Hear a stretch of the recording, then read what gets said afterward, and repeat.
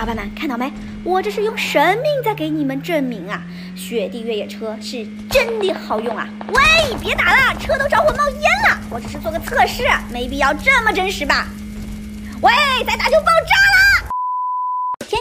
日日看板娘，我就是传说中的宇宙超级平底锅王小薇。今天和平精英迎来了首次新版本的大更新哦，可能很多小伙伴已经有所耳闻啦，但是老娘这里一定还有你不知道的一些小暗感。下面呢，我们就一起来看看这次更新究竟有什么。首先是雪地地图新上线了两辆载具，雪地越野车就是把原来的吉普车改成了雪地越野车，增强了它在雪地上的抓地能力和行驶速度。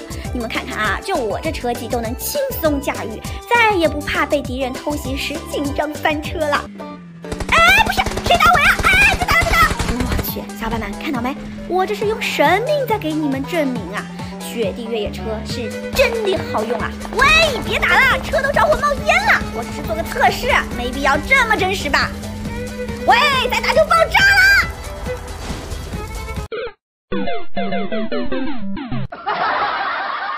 刚刚说完了雪地越野车，下面就是另一辆载具——雪地轻型摩托。看到没？是不是有点小帅呀？同样，这个雪地轻型摩托也是很容易操控的，而且速度和普通摩托一样快。说完了两辆新载具，我们再说说这次的枪械更新。和平精英里新上线了一把冲锋枪 MP5K，它和维克托装的配件一样，一共可以装五个配件。个人测试后感觉弹道不稳定，有点飘，所以呢不推荐新手玩家使用。而且这把枪只在雪地地图里刷新。另外，其他的小更新还有：UMP 九改名为 UMP 四五，子弹从九毫米变成了点四五子弹；维克托子弹从原来的点四五子弹变成了九毫米子弹；M 十六现在是可以装战术枪托的了；子弹带现在可以和九八 K Win 九四散弹枪共用了。好了，以上就是这次官方给出的更新内容了。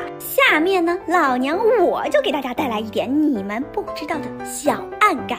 首先是出生点从空军基地回归到了出生岛，虽然集装箱上的黑色大衣没了，但是还是有满满的怀旧感啊，有木有啊？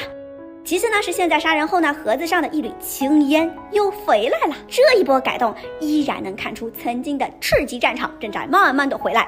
还有游戏内的快捷语音包和匹配选人机制也悄悄的回来了，不知道细心的你们发现了没有呢？话说最近国际服体验服大热的空投洞已经开放喽，趁着这次和平精英的首次更新，我也去空投洞附近转了转，但是发现空投洞依然没有在国服开放啊。不过虽然这次更新并没有开放，但我相信不久的将来和平精英一定会开放空投洞的。好了，以上就是今天和平精英新版本的所有内容了。小伙伴们看到光子为和平精英做出的改变了吗？那些汽油特种兵们，你们会回来吗？在视频下方留言告诉我吧。我们下期节目再见吧，拜拜。